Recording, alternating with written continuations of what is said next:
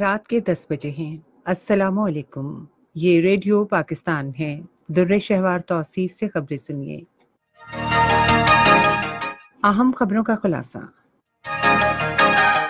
وزیر اعظم نے کہا ہے کہ حکومت چینی کمپنیوں کے تعاون سے کاشتکاری کے شعبے میں نئی ٹیکنالوجی متعارف کرائے گی۔ صدر نے کہا ہے کہ پاکستان بھارت کے ساتھ امن، کشمیر اور دیگر تنازعات، مذاکرات کے ذریعے حل کرنے کا خواہش مند ہے۔ اطلاعات کے بارے میں وزیر اعظم کی معاون خصوصی نے کہا ہے کہ پاکستان کی مسلح فاج مادر وطن کی سرحدوں کے دفاع کے لیے مکمل طور پر تیار ہیں۔ ترکی نے خبردار کیا ہے کہ اگر جنگ بندی کے خاتمے کی حتمی مدت سے پہلے کرد جنگجوؤں نے علاقہ نہ چھوڑا تو وہ شمال مشرقی شام میں فوجی کاروائی پھر شروع کر دے گا۔ اور اب خبریں تفصیل کے ساتھ۔ وزیر اعظم عمران خان نے کہا ہے کہ حکومت مختلف شعبوں میں پاکستانی اور چینی تاجروں کے ساتھ مشترکہ منصوبوں میں سہولت فراہم کرے گی۔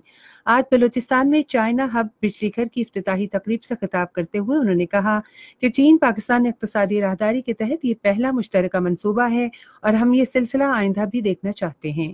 انہوں نے کہا کہ چین کے کئی کاروباری ادارے معیشت کے مختلف شعبوں میں سرمایہ کاری میں دلچسپی رکھتے ہیں۔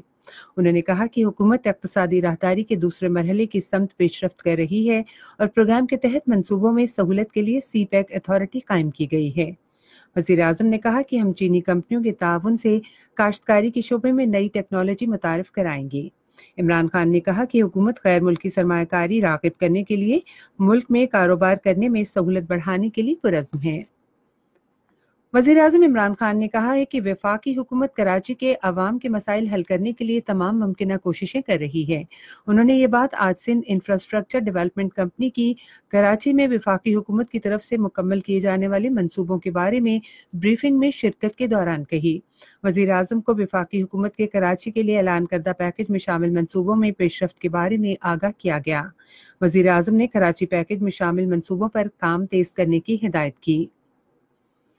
چین کی company Shanghai Electric Thar coal block one میں چار ارب ڈالر کی سرمایہ کاری کرے گی اور وہاں ایک ہزار تین سو بیس میگا واٹ کے دو بجلی گھر قائم کرے گی۔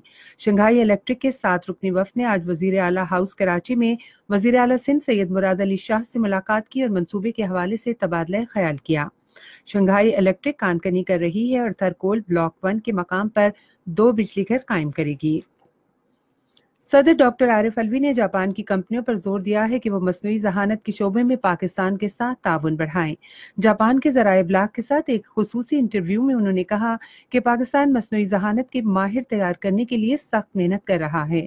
ڈاکٹر عارف الوی نے کہا کہ انہوں نے بذات خود مصنوعی ذہانت کی تربیت کے بارے میں صدارتی منصوبے کا آغاز کیا ہے اور آئندہ دو برس کے دوران مصنوعی ذہانت کے ایک لاکھ ماہرین تیار کرنے کا ہدف مقرر کیا ہے۔ مسئلہ کشمیر کے بارے میں گفتگو کرتے ہوئے صدر مملکت نے بھارت پر کڑی تنقید کی کہ مسلسل کشیدگی سے خطے میں ایٹمی جنگ کا خطرہ ہے۔ انہوں نے کہا کہ پاکستان بھارت کے ساتھ امن، کشمیر اور دیگر مسائل مذاکرات کے ذریعے حل کرنا چاہتا ہے۔ اطلاعات و نشریات کے بارے میں وزیر اعظم کی معاون خصوصی ڈاکٹر فردوس شقوان نے کہا ہے کہ پاکستان کی مسلح فاج مادر وطن کی سرحدوں کے دفاع کے لیے پوری طرح تیار ہیں۔ آج لاہور میں ایک نیوز کانفرنس سے خطاب کرتے ہوئے انہوں نے بھارتی ذرائع ابلاغ کے جھوٹے پروپیگنڈے کی سخت مذمت کی۔ فردوس شقوان نے کہا کہ گوادر کی بندرگاہ اگلے ماہ کام کرنا شروع کر دے گی۔ انہوں نے حزب اختلاف کی جماعتوں کی منفی سیاست پر کڑی تنقید کی۔ انہوں نے کہا کہ حکومت حزب اختلاف کے احتجاج کے سلسلے میں عوام کے جان و مال کا تحفظ یقینی بنائے گی۔ پاکستان نے تمام سفارتکاروں کو بھارت کی طرف سے ہفتے کی شب اور اتوار کو بھارتی فوجیوں کی بلا اشتعال فائرنگ سے متاثرہ علاقوں کے معائنے کے لیے کل کنٹرول لائن کے دورے کی دعوت دی ہے۔ سفارتی ذرائع کے مطابق دعوت نامے میں اسلام آباد میں تمام سفارت خانوں کے مشن سربراہوں کو کنٹرول لائن پر جورا شاکوٹ اور نوسیری سیکٹر کا دورہ کرنے اور زمینی صورتحال کا مشاہدہ کرنے کی دعوت دی گئی ہے۔ ذرائع کا کہنا ہے کہ بھارتی فورسز نے ان سیکٹروں میں مارٹر گولوں اور توپ خانے کا استعمال کرتے ہوئے جان بوجھ کر شہری آبادی کو نشانہ بنایا، جس کے نتیجے میں پانچ شہری اور ایک فوجی اہلکار شہید ہو گئے۔ انہوں نے کہا کہ بھارتی جاہریت کا منہ توڑ جواب دیا گیا۔ ذرائع نے دہشت گردوں کے لانچنگ پیڈز کو نشانہ بنانے کے بھارتی فوج کے سربراہ کے دعوے کو مسترد کر دیا۔ انہوں نے کہا کہ بھارت کے ناظم الامور کو بھی غیر ملکی سفارتکاروں کے سامنے اپنی فوج کے سربراہ کے دعوے کو ثابت کرنے کی دعوت دی گئی ہے۔ دفتر خارجہ کے ترجمان ڈاکٹر محمد فیصل نے کہا ہے کہ بھارتی سفارت خانے نے فوج کے شعبہ تعلقات عامہ کے ڈائریکٹر جنرل کی پیشکش کا ابھی تک جواب نہیں دیا۔ ایک ٹویٹ میں انہوں نے کہا کہ اس سے ظاہر ہوتا ہے کہ ان کے پاس اپنی فوج کے سربراہ کے جھوٹے دعوے ثابت کرنے کے لیے کوئی ٹھوس ثبوت نہیں ہے۔ انہوں نے کہا کہ ہمیں ان سے جلد رد عمل کی توقع ہے۔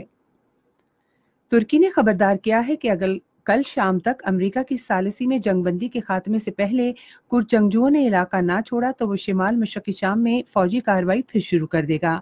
ترکی کے وزیر خارجہ میولٹ کاوسوگلو نے استنبول میں صحافیوں سے گفتگو کرتے ہوئے کہا کہ کچھ جنگجوؤں کے علاقے سے نہ نکلنے کی صورت میں کاروائی پھر شروع کر دی جائے گی۔ امریکہ، برطانیہ اور ناروے نے جنوبی سوڈان کی سیاسی پارٹیوں پر زور دیا ہے کہ وہ مقررہ مدت کے اندر عبوری حکومت کی تشکیل مکمل کریں۔ اور اسی کے ساتھ اب تک کی خبریں ختم ہوئی مزید خبروں اور تجزیوں کے لیے ہماری ویب سائٹ ہے radio dot G O V dot P K اور فیس بک کے link radio Pakistan news official پر براہ راست ویڈیو سٹریمنگ بھی ملاحظہ کیجیے۔